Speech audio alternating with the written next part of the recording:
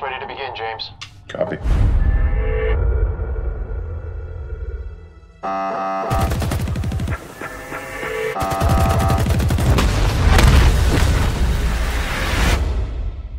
What happened? They're all gone.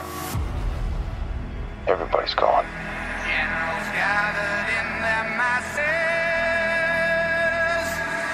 just like witches at black masses. Daddy!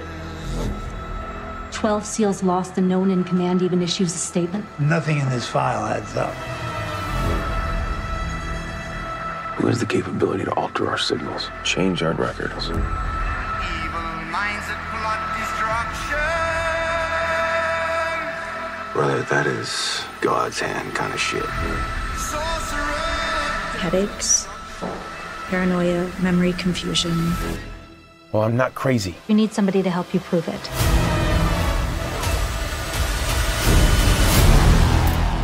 I know what it's like when war follows you home. I hope you'll be able to find peace knowing this mission is over. Death and hatred to mankind. You're not at war. You're at home. There's a difference. Not anymore. Poisoning everyone's mind. I can't let you keep doing this. Something happened to me on that op.